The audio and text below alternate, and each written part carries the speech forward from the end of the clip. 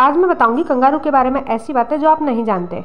मादा कंगारू में तीन योनि और दो गर्भाशय होते हैं। इनके गर्भ धारण का टाइम 31 से 36 दिनों का होता है, यानी कि ये हर महीने बच्चे को जन्म दे सकती हैं। लेकिन खास बात यह है कि ये तब तक प्रेग्नेंट नहीं होती, जब तक कि पहला बच्चा बड़ा ना हो जाए। और इनकी थैली के अंदर चार थन लगे होते हैं, जिससे बच्चा दूध पीकर बड़ा होता है। और ये जानवर अपनी लाइफ में कभी पानी नहीं पीता।